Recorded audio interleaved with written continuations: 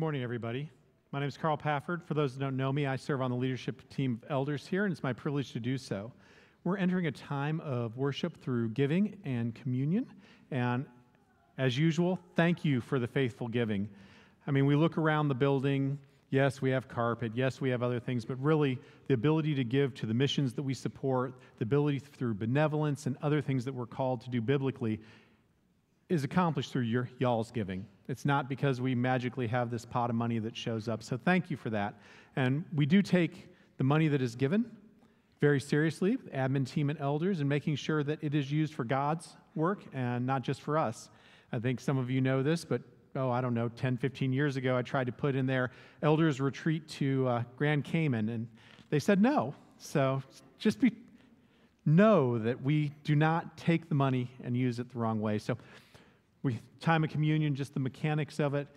If you're a member here or a regular, please feel free to give. If you're a guest, don't feel obligated at all, but if led, please do. Put it in the black boxes, and then communion is in these little cups up here. Please come up here, take it, take it back to your seat, take it as you feel led to take it, and then at the end of the service, please deposit it in the trash bins out either door. Equality.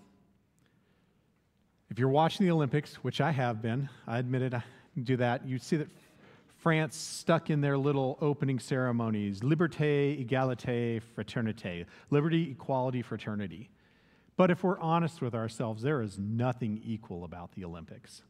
Structurally, if you look at Moldova, their judo team versus America's judo team that trains out there, Colorado Springs, the dietetics that's involved, everything that's there, it's not equal. Um, but in the opening ceremony, talk about how equal it is that athletes from everywhere get to come and compete. Well, there are certain advantages. Um, also, genetically, it is not equal. If you look at Caleb Dressel, even though he's the shortest person on the men's swim team that won the 4x100 relay, he's got shoulders this wide, arms that go past his knees, cardiac that's unbelievable. You look at Noah Lyles, he has fast twitch muscles that you wouldn't believe. I would love to be a middle blocker on the men's volleyball team. There is no amount of work that I can put in that is going to put me there. It is unequal. It is. There's nothing equal about it. I can work, and I don't want to belittle their work. The people that get to the Olympics, no matter where you come from, have worked their entire lives to get there. There's a lot of work. I can't work myself to six foot six with a you know 30 inch vertical. Anybody that's seen me out there on the volleyball court has seen my four inch vertical on a good day. Uh, doesn't even clear the net. So there is not equality in the French Olympics. However, I do have equality with every one of those Olympic athletes, and so do you. And that equality is, is that before God, we are all equal. As it says in Romans, starting in 22 and 23, there is no difference between Jew and Gentile, for all have sinned and fallen short of the glory of God. Everybody, whether you're Caleb Dressel, Dressler, if you're the I watched fencing yesterday just because it's fascinating to me. I am equal to all of them. And there, with that, if you're Alex Graham, um, he was on a podcast recently, does Loaves and Fishes Ministry in Texas. Or you're Jeffrey Dahmer, who reportedly gave his life to Christ just a couple days before he was killed in prison as a mass serial killer. To God, we're all the same no matter what we do. At the communion table, we're called to remember that we are sinners before God, but God provided the means to bring us in His presence. If you've accepted the Holy Spirit in your heart, you have become a Christian. As it says in Romans 23 and 24, and all are justified freely by his grace through the redemption that came by Christ Jesus. God presented Christ as a sacrifice of atonement through the shedding of his blood to be received by faith. Every Sunday, at this church and across the world. It doesn't matter what denomination, it doesn't matter if you're in a home church in secret in China, if you're here in Fishers, if you're in Rome, if you're in the Asian Pacific. Celebrating communion, we share that equally with other Christians. And again, it's not through our hard work, but as it says in Romans, received by faith through the Holy Spirit. So as we celebrate communion here today, and you come up, and you take these elements, the symbol of the blood that was shed and the body that was broken, I urge you to think about how we are equal to everybody. We are sinners, good life or not, um, but God loved us so much that when his son celebrated Passover and then died on the cross, and we celebrate that in remembrance today, we have an end game with God where we will be there together. Would you pray with me? Father God, you are truly an awesome God, and we are all equal before you. It doesn't matter what we do, where we came from, where we live, or who we are. We know that we are all sinners. But thank you for your Son, who died willingly for us so that we may have an eternity with you, and that we have an eternity with others, Lord, and know that we are equal in your eyes. Lord, we pray that as we take these elements, our heart will be right with you, that we set aside what's there, and just remember you loved us enough to do this. It's in your name we pray. Amen.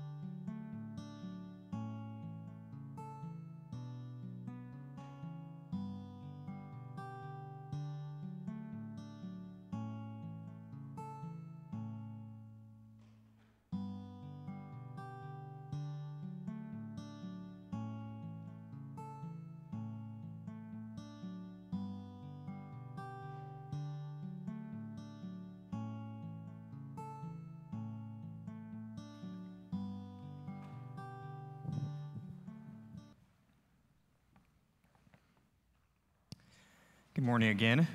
Thanks for joining us here at Prairie View Christian Church.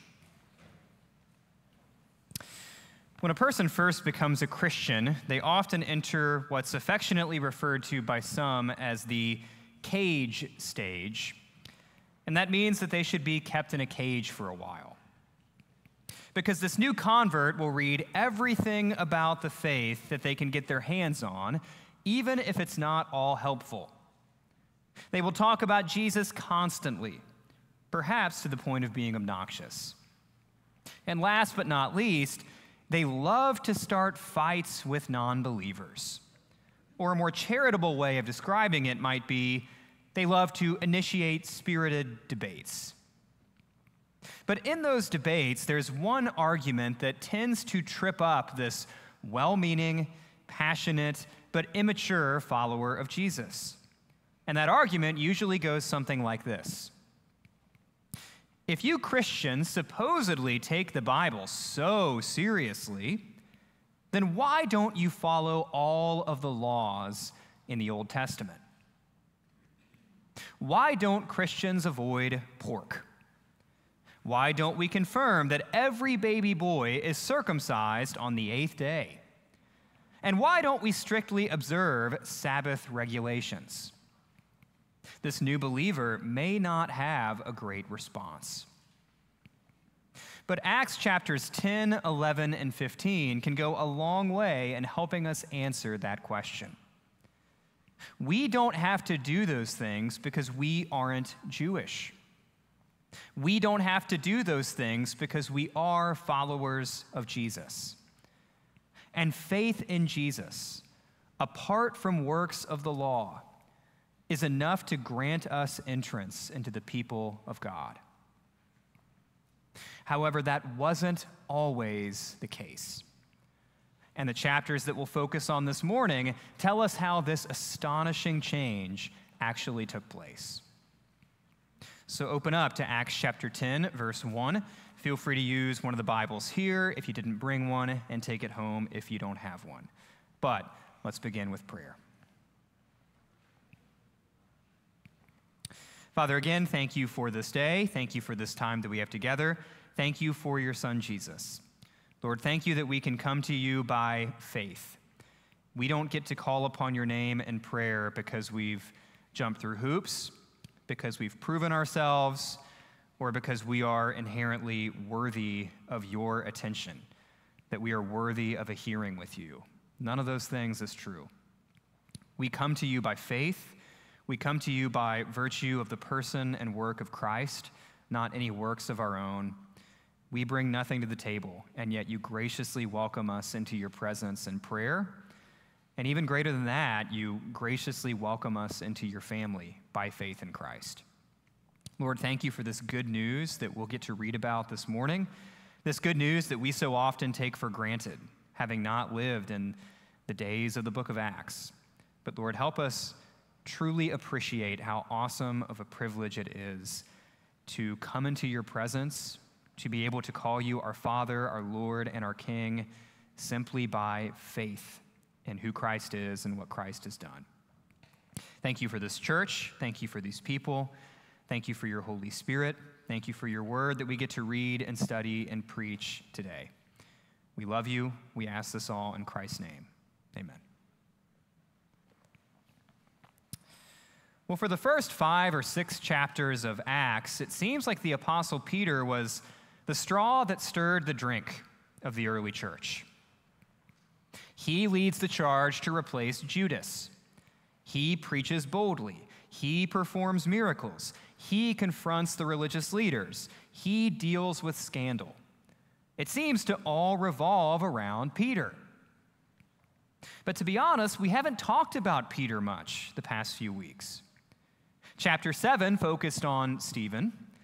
Chapter 8 revolved more around Philip. And chapter 9 primarily concerned Saul. It turns out that as important as he is, Peter is not the main driver of the early church. God is, namely the Holy Spirit. And Peter will fade from the story as we press on in Acts. But before we leave him behind, Peter plays a major role in what we read today. So, starting in chapter 10, verse 1. It's a long scripture reading, Longest one of the morning, but it's important, so we're going to read all of it, almost all of it. Chapter 10, verse 1. At Caesarea, there was a man named Cornelius, a centurion of what was known as the Italian cohort, a devout man who feared God with all his household, gave alms generously to the people, and prayed continually to God. He's a great guy. Too bad he's a Gentile. Verse 3. About the ninth hour of the day, he saw clearly in a vision an angel of God come in and say to him, Cornelius. And he stared at him in terror and said, What is it, Lord? And he said to him, Your prayers and your alms have ascended as a memorial before God. And now send men to Joppa and bring one Simon, who is called Peter. He is lodging with one Simon, a tanner, whose house is by the sea. When the angel who spoke to him had departed, he called two of his servants and a devout soldier from among those who attended him, and having related everything to them, he sent them to Joppa. The next day, as they were on their journey and approaching the city, Peter went up on the housetop about the sixth hour to pray. And he became hungry and wanted something to eat. But while they were preparing it, he fell into a trance and saw the heavens opened and something like a great sheep descending being let down by its four corners upon the earth.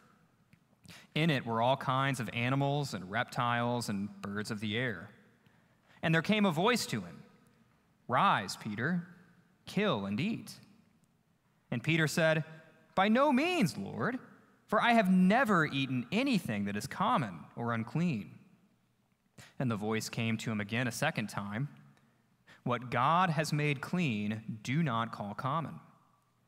This happened three times, and the thing was taken up at once to heaven. Now, while Peter was inwardly perplexed as to what the vision that he had seen might mean, behold, the men who were sent by Cornelius, having made inquiry for Simon's house, stood at the gate and called out to ask whether Simon, who was called Peter, was lodging there. And while Peter was pondering the vision, the Spirit said to him, Behold, three men are looking for you. Rise and go down and accompany them without hesitation, for I have sent them.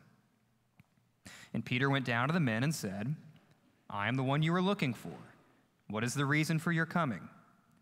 And they said, Cornelius, a centurion, an upright and God fearing man, again, too bad he's a Gentile, who is well spoken of by the whole Jewish nation, was directed by a holy angel to send for you to come to his house and to hear what you have to say. So he invited them in to be his guests, and the next day he rose and went away with them, and some of the brothers from Joppa accompanied him. In the following verses, Peter ends up at Cornelius' house.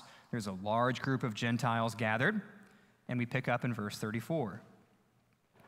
So Peter opened his mouth and said, Truly, I understand that God shows no partiality, but in every nation, anyone who fears him and does what is right is acceptable to him. As for the word that he sent to Israel, preaching good news of peace through Jesus Christ, he is Lord of all, you yourselves know what happened throughout all Judea, beginning from Galilee after the baptism that John proclaimed, how God anointed Jesus of Nazareth with the Holy Spirit and with power he went about doing good and healing all who were oppressed by the devil, for God was with him. And we are witnesses of all that he did, both in the country of the Jews and in Jerusalem. They put him to death by hanging him on a tree. But God raised him on the third day and made him to appear not to all the people, but to us who had been chosen by God as witnesses, who ate and drank with him after he rose from the dead. And he commanded us to preach to the people and to testify that he is the one appointed by God to be judge of the living and the dead. To him, all the prophets bear witness that everyone who believes in him receives forgiveness of sins through his name. While Peter was still saying these things, the Holy Spirit fell on all who heard the word. And the believers from among the circumcised who had come with Peter were amazed because the gift of the Holy Spirit was poured out even on the Gentiles. For they were hearing them speaking in tongues and extolling God. Then Peter declared, Can anyone withhold water for baptizing these people who have received the Holy Spirit just as we have? And he commanded them to be baptized in the name of Jesus Christ. Then they asked him to remain for some days. From their very beginning, Jews had defined themselves over and against the Gentiles, aka everyone who wasn't Jewish. As Abraham's promised descendants, the Jews were graciously chosen by God. They were called into an exclusive covenant relationship with God. They specifically received their law from God's very hand. Gentiles couldn't claim any of that. But on top of all of that, the Jews' enemies, of which they had many, were all Gentiles. The Egyptians who enslaved them, the Canaanites who opposed them, the Assyrians who exiled them, the Babylonians who devastated them, and the Romans who dominated them all had one thing in common, and it's that they were all Gentiles. The Jews were different from everybody else in the world. They were in a class of their own.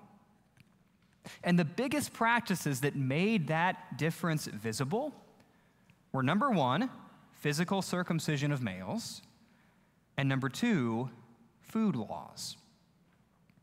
Those practices were put in place by God Himself to set the Jews apart from the surrounding nations. Those practices testify to the Jews' unique identity as God's people, unlike anybody else. Now, then, could a Gentile be admitted into the people of God? Well, they absolutely could. But there was a catch they had to become Jews. Ethnic non Jews who converted to the Jewish faith were known as proselytes, a word that's come up a couple of times in the book of Acts so far. But how does a Gentile become a Jew? Great question. Well, you can't change your family tree, but you can change your diet. And no, you can't make yourself a physical descendant of Abraham's body, but you can make your physical body, or your husband's, or your son's, look a little more like his body. And if a Gentile was willing to do those things, to observe the practice of circumcision, and submit to the restrictions about food, then you would be welcomed into the family with open arms. But if you didn't, well, you'd still be on the outside looking in. You'd still be a Gentile. That is until we get to Acts chapter 10.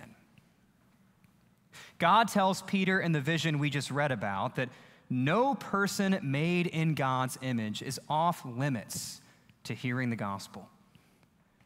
There's no amusement park style, you must be this Jewish to ride sign.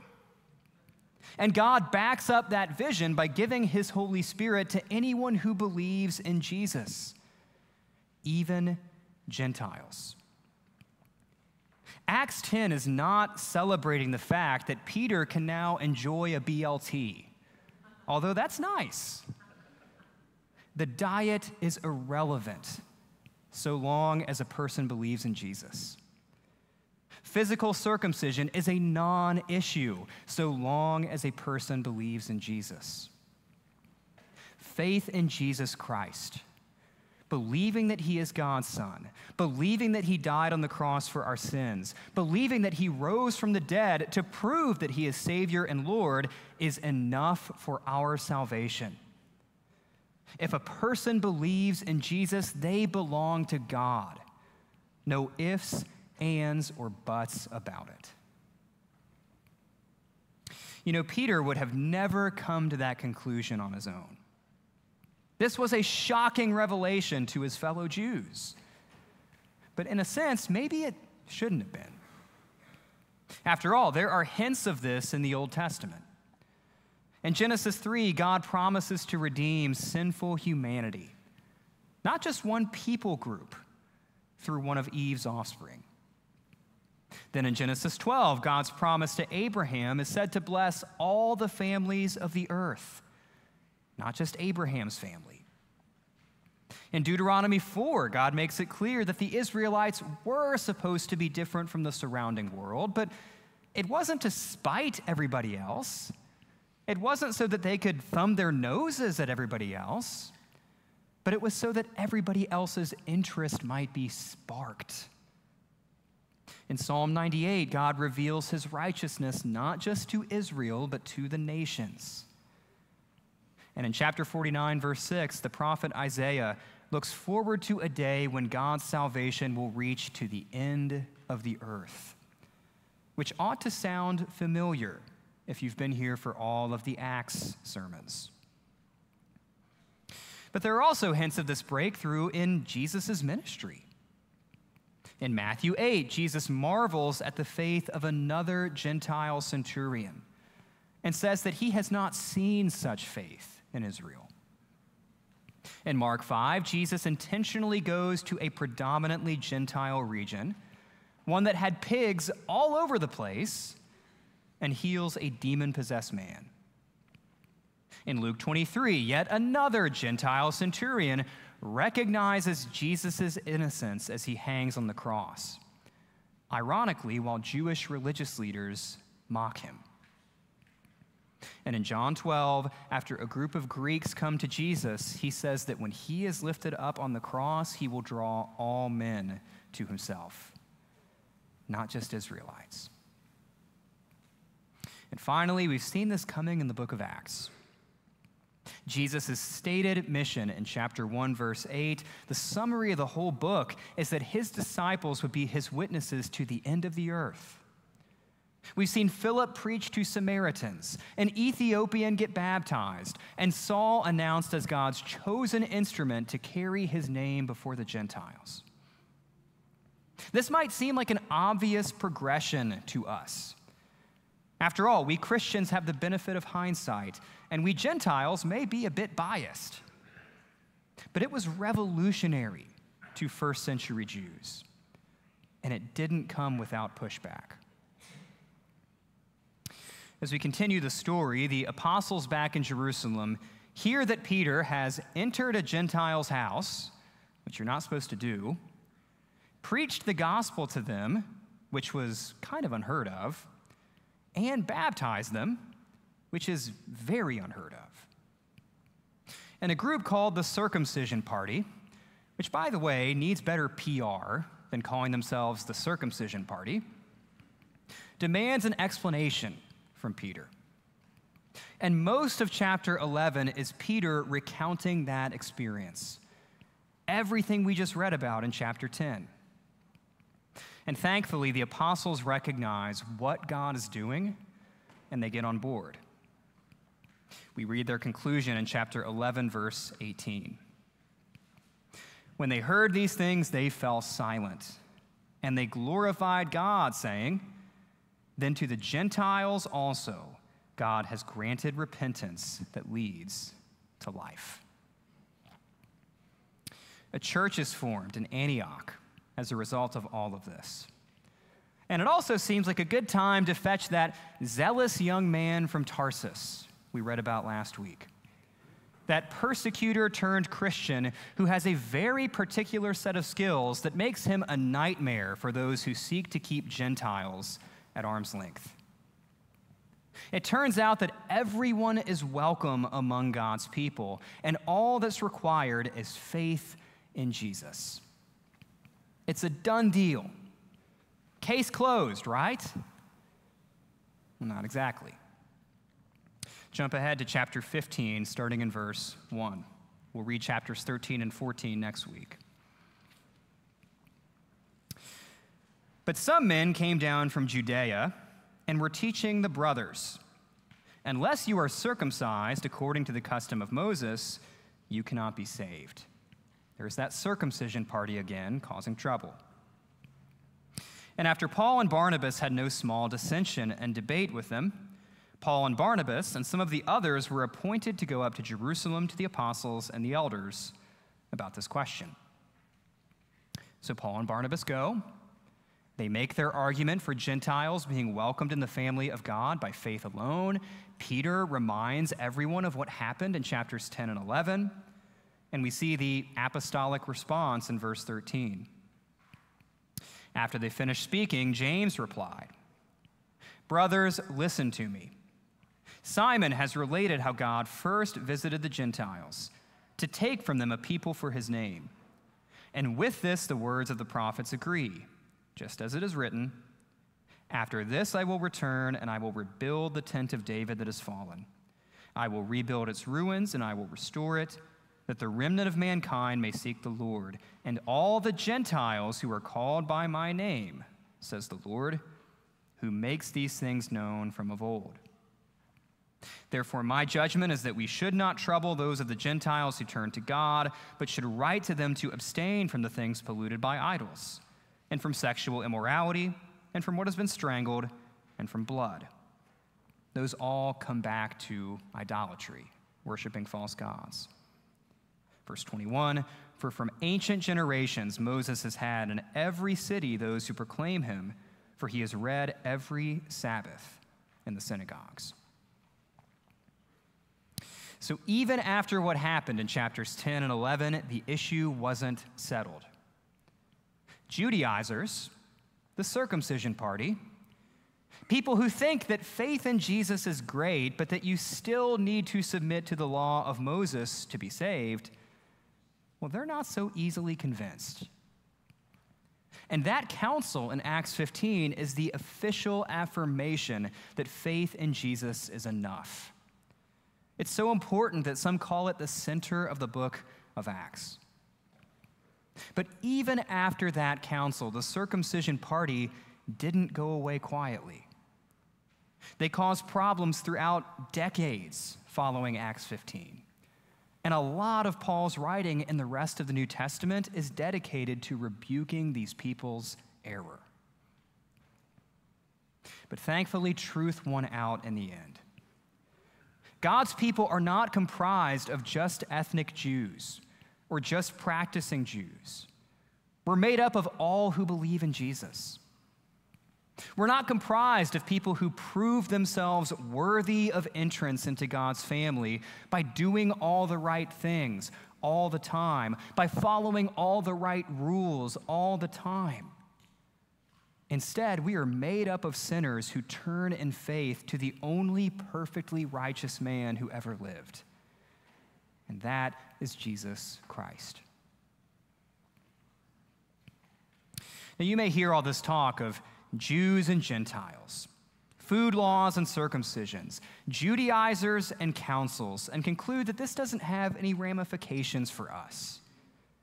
But you would be very wrong. Because when many of us hear the gospel for the first time, deep down we think to ourselves, you know, that sounds wonderful, but is faith in Jesus really enough to save me? My guilt is too paralyzing. My doubt is too deep. My regrets are too many. My shame is too strong. And my sins are too severe. I've got way too many skeletons in my closet to be saved by anything, especially something as easy as faith. Sounds too good to be true. But if you believe in Jesus, you are saved. Now, that does not mean that we can be spiritually lazy as long as our hearts are in the right place. But it does mean that faith in Jesus Christ is enough to overcome your insecurities, and it's enough to overcome your history. But we may also hear all this pleasant talk of salvation by faith alone and not by works of the law, and think to ourselves deep down, you know, that sounds wonderful, but is faith in Jesus really enough to save them? That person over there doesn't look like me, doesn't sound like me, doesn't act like me, doesn't vote like me, and doesn't think like me. They've got way too many skeletons in their closet to be saved by anything, especially something as easy as faith. That sounds too good to be true. But if that person over there believes in Jesus, guess what? They're saved too. That doesn't mean that there won't be real disagreements between fellow believers who need to be dealt with. It doesn't mean that a believer who's rebellious, misguided, or willfully ignorant doesn't need correction. But it does mean that we should be incredibly careful about questioning the salvation of someone who confesses Jesus as Lord. And finally, we may hear all this talk of salvation by faith alone and ask ourselves, well, then what about the law of Moses? What about the Old Testament? The law had a good place and a good purpose for God's people then, the people of Israel. And it still has a good place and a good purpose for God's people now, believers in Jesus. The law was never the true foundation of a person's relationship with God. That's always been God's grace. And obeying the law was never the ultimate expression of one's relationship with God. Faith was. Paul talks about this with Abraham in Romans chapter 4. But none of that changes the fact that even now, the law can help us understand God's character. It can teach us how to imitate God in a world that doesn't know Him, and it can identify sin. So we don't want to be legalists who question whether faith in Jesus is enough and add more bars that people have to clear if they want to truly be saved. But we also don't want to be antinomians People who suggest that as long as you believe in Jesus in your head or have some fuzzy feelings about him in your heart, then it doesn't really matter what you do with the rest of you. We want to avoid both of those errors. We're not saved by God's law, we're saved by God's Son. But people who are saved by God's Son, people who are indwelt by God's Spirit, should end up looking like righteous, law abiding people in all kinds of ways.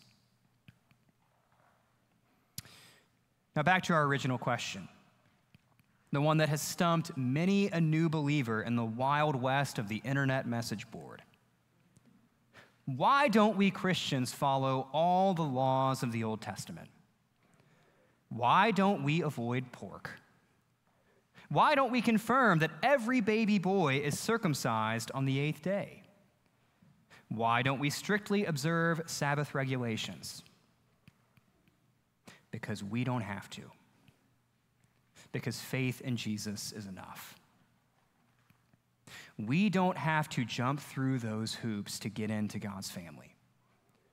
We don't have to prove ourselves worthy to stay in God's family.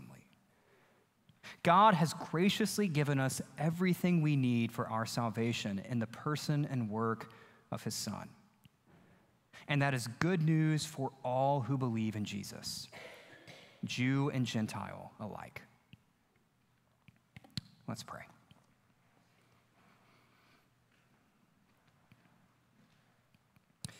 Father, again, thank you for this time that we have together. Thank you for your son, Jesus.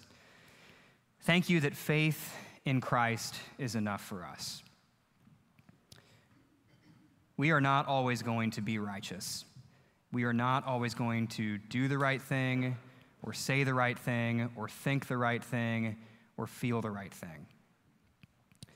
But even when those times of doubt, or fear, or insecurity, or sin, or unfaithfulness come, we trust in the person and work of Christ.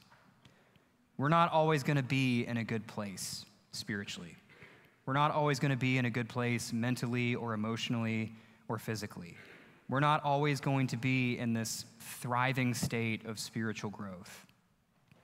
But Lord, thank you that we don't have to always be in the right place. We don't have to always do the right thing.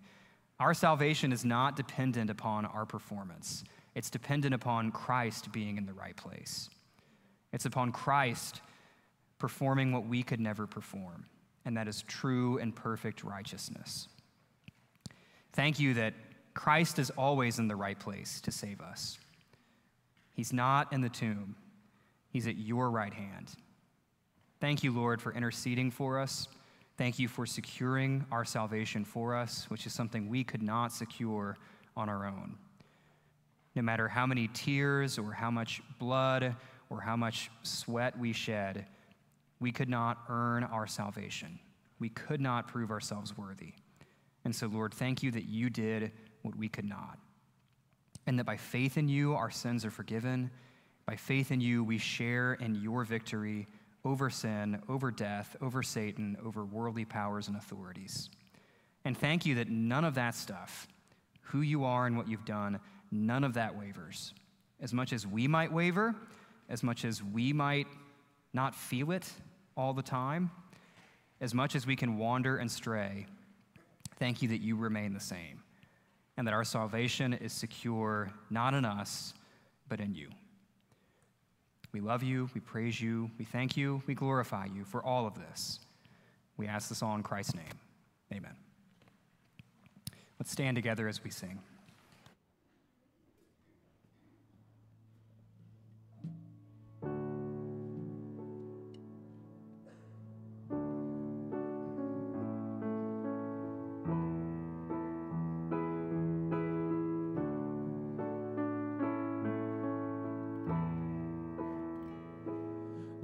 Lost are saved, find their way at the sound of your great name. All condemned, feel no shame at the sound